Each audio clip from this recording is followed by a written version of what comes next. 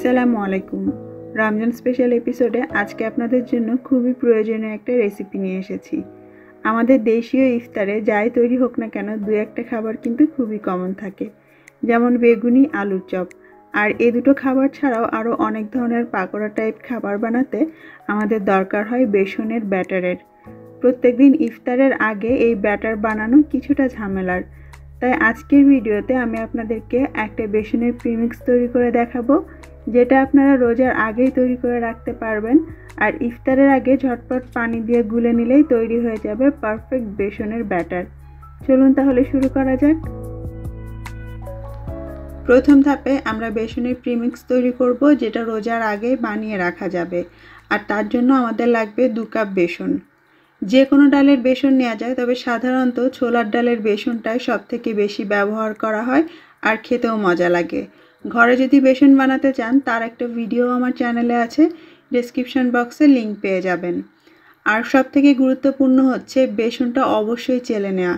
দেখতেই পাচ্ছেন, বেসনের ভেতরে একটা দানা দানা ভাব থাকে, তাই আপনি যদি ব্যাটার বানানোর আগে বা অন্ততপক্ষে প্রিমিক্স বানানোর আগে বেসনটা চেলে নেন তাহলে আপনার ব্যাটার বানানোর সময় কোনো ধরনের লামস থাকবে না, একদম স্মুথ একটা ব্যাটার তৈরি হবে। দু কাপ বেসন আমি খুব ভালো করে চেলে নিয়েছি। অনেকেই বেসনের ব্যাটার বানানোর ক্ষেত্রে এর সঙ্গে চালের গুঁড়ো বা কর্নফ্লাওয়ার ব্যবহার করেন মচমচে করার জন্য। আমি সাধারণত এই কাজটা করি না।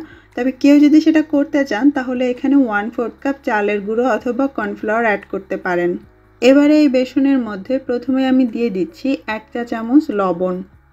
তারপরে দিচ্ছি এক চা চামচ মরিচের গুঁড়ো।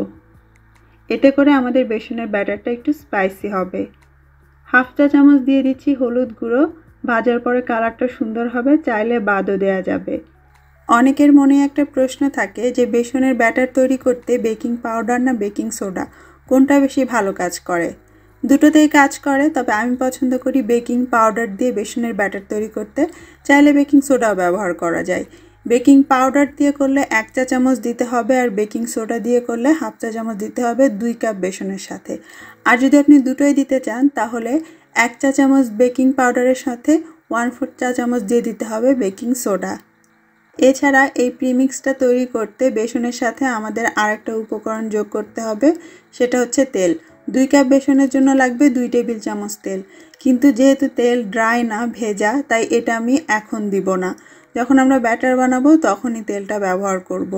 তাই তেল বাদে বাকি সমস্ত উপকরণ একসঙ্গে বেসনের সাথে মিশিয়ে নিলেই তৈরি হয়ে যাবে আমাদের বেসনের প্রিমিক্স আপনি চাইলে কিন্তু আরেকবার এটাকে ভালো করে চেলে নিতে পারেন।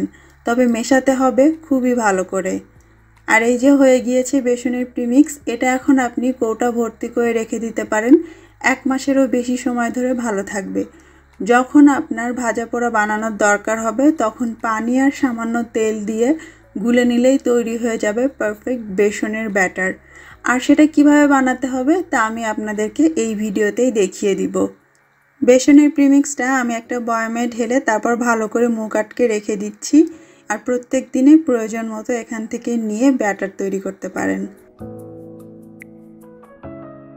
আপনাদের সুবিধার জন্য এবারে আমি ব্যাটার তৈরি করে দেখাবো এক কাপ বেসনের প্রিমিক্স দিয়ে।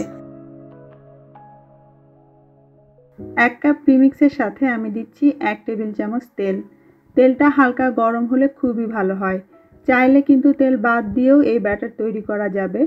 তবে তেল দিলে সুবিধা যেটা, বেসনটা আগে থেকে কিছুটা তেল পেয়ে যাবে এবং ভাজার সময় তেল টানবে কম, মুচমুচেও হবে। তাই তেলটা দেওয়ার পর খুব ভালোভাবে বেসনের সঙ্গে এইভাবে মিশিয়ে নিতে হবে। এবার পানি দিয়ে ব্যাটার তৈরি করতে হবে। ঠান্ডা না, গরম না, একদম নর্মাল পানি দিয়ে আমরা ব্যাটার বানাবো। প্রথম ধাপে আমাদেরকে আধা কাপ পানি দিয়ে দিতে হবে এবং একসঙ্গে মিশিয়ে খুব ঘন একটা ব্যাটার তৈরি করে নিতে হবে। প্রথম ধাপে যদি সম্পূর্ণ পানি বা বেশি পানি পড়ে যায়, তাহলে ব্যাটারের মধ্যে অনেক লামস তৈরি হবে এবং ব্যাটার বানাতে আপনার বেশি সময় লাগবে। তাই প্রথমে এরকম ঘন একটা ব্যাটারের মতো বানিয়ে নিয়ে তারপর অল্প অল্প করে এতে পানি দিতে হবে।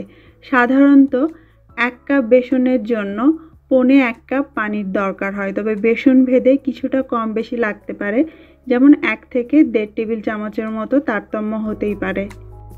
একটু একটু করে পানি দিতে হবে আর হাত দিয়ে খুব ভালো করে ফেটে নিতে হবে। চাইলে এগ হুইক্সকেও ব্যবহার করা যায়, তবে হাতের থেকে আর ভালো কোনো মেশিন নেই। আমার ব্যাটারটা তৈরি হয়ে গিয়েছে, আমি আপনাদেরকে দেখিয়ে দিচ্ছি যে এটা কেমন ঘনত্বের হবে।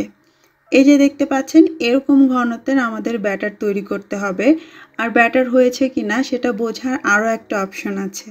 আর তা হলো একটা আঙুলের মধ্যে ডুবিয়ে দিবেন যদি ব্যাটার দিয়ে আঙুলটা খুব ভালোভাবে কোট হয় এবং লাস্টের ড্রপগুলো অনেক সময় নিয়ে পড়ে, তাহলে বুঝতে পারবেন আপনার ব্যাটার একদম রেডি। তবে সাধারণত এক কাপ বেসনের জন্য আগেই বলেছি, পনে এক কাপ অর্থাৎ থ্রি ফোর্থ কাপ পানির দরকার হয়। আমি এক কাপ পানি নিয়েছিলাম, সেখান থেকে ওয়ান ফোর্থ কাপ পানি বেঁচে গিয়েছে।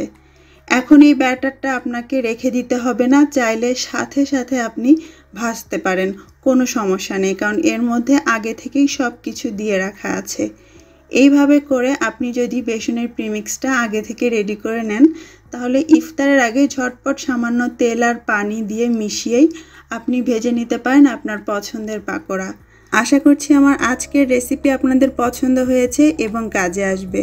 সবাই ভালো থাকবেন। কমেন্ট বক্সে আপনাদের মূল্যবান মতামত জানাতে ভুলবেন না। আল্লাহ হাফেজ।